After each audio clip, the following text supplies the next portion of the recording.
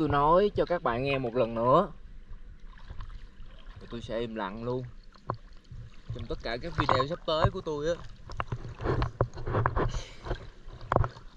Bởi vì người Việt Nam không ủng hộ tôi tôi nói nhiều với các bạn làm cái gì.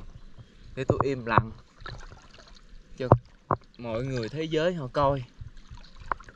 Họ ủng hộ tôi chứ tôi nói tiếng Việt tôi cũng bị kỳ thị ngôn ngữ nữa, các bạn biết không? Đây.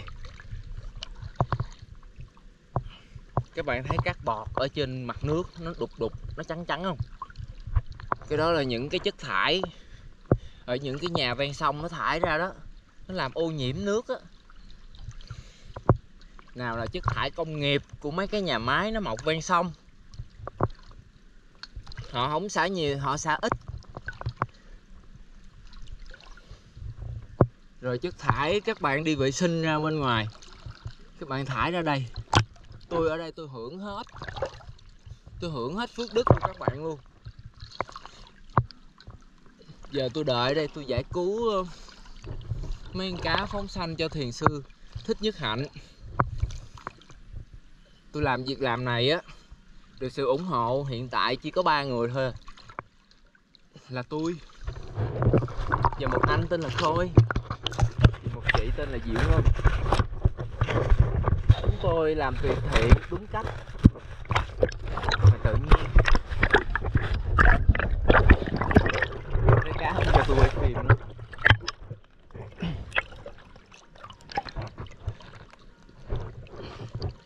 Ba người ủng hộ được 300 ngàn á. Không xong người ta bắt cá là mình, người ta bắt cá dưới sông lên rồi mình thả ra sông lại chứ tụi tôi không bắt cá nuôi. Các bạn biết cá nuôi mà. Ta nuôi kinh doanh. Nuôi đẻ ra hoài. Ta làm giàu bằng nghề đó mà. Còn mấy con trong tự nhiên á, ăn hoài nó tuyệt chủng luôn á, đâu ai nuôi nó đâu. Vì nó không nuôi được. Với lại nó tùm lum cá đó.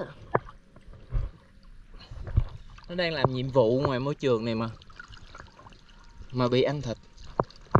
Nó tội không? Đó, tôi lọ lọ gì mà nãy giờ đi cũng được cả cây số rồi đó các bạn. Thôi, tôi không nói nữa đâu. Tiết kiệm pin HTC ha. Giờ quay clip TT bơi cho thế giới coi ủng hộ mình ha. Việt Nam không ai ủng hộ mình thôi kệ ha.